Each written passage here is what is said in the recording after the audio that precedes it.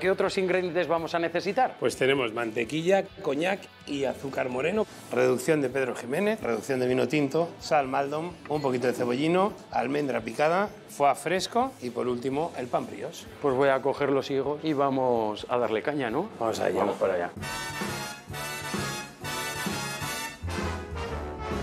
Tenemos cortados los higos y ahora qué vamos a hacer con ellos, Chema. Pues los vamos a saltear con un poquito de mantequilla. Y es la única manera de poder trabajar con ellos, ¿no? No se me ocurrirá a mí poner aceite de oliva. A mí personalmente me gusta más y realza el sabor del higo la mantequilla. Contrasta muy bien con el foie y un poquito del dulce le viene muy bien. Una vez salteados que cojan un poquito de color, añadimos el azúcar moreno Y ya tenemos también su puntito de coñac. Flambeamos un poquito y luego reducir 3-4 minutos y que se evapore el alcohol y ya tenemos listos nuestros higos caramelizados. Yo la encontré comiendo higos. Y ahora estoy haciendo, Germán, una tostada con pan brioche. ¿Y por qué has elegido en este caso pan brioche? Tú mismo lo estás haciendo porque es mucho más blandito que un pan, no tiene corteza. Al planchearlo un poquito con aceite de oliva, se queda la costra y hace un contraste de duro y dentro blandito. Pero podríamos utilizar también una tostada de pan normal, ¿no? Hombre, claro. Y con, y- y con una, y con una hogaza también. Y solo sí, el sí, también, ¿eh? falta. Sí, sí, sí.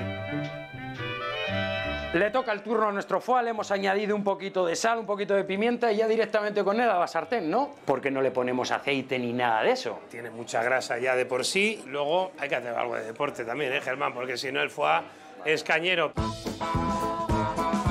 ¿Y cómo conseguimos que se quede en nuestro punto? En el propio aceite que te suelta con una cuchara, irle rociando para que el centro del foie no se nos quede frío. Y además el foie es un productazo que triunfa siempre en la cocina, ¿eh? La verdad es que nosotros llevamos ya 20 años, Germán, con él y no nos falla. ¿Y cómo te digo a ti que esta locura por la cocina? Mis padres médicos cocinaban y yo que estaba estudiando y era muy mal estudiante, cualquier excusa era buena para escaparme y ahí empezó todo, ayudándoles poquito a poco, unos pimientos rellenos. ¿Y te quedaron buenos?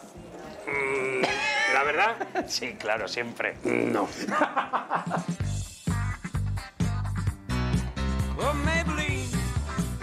Germán, lo prometido es deuda. Fue a la plancha con los higos que nos has traído. Pues llega el gran momento de probarlo y a ver qué tal te ha quedado, amigo.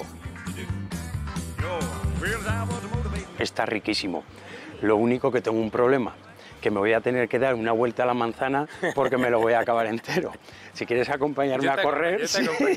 me acompañas a comerlo. A correr ya no, ¿eh? Muchas gracias, Chema.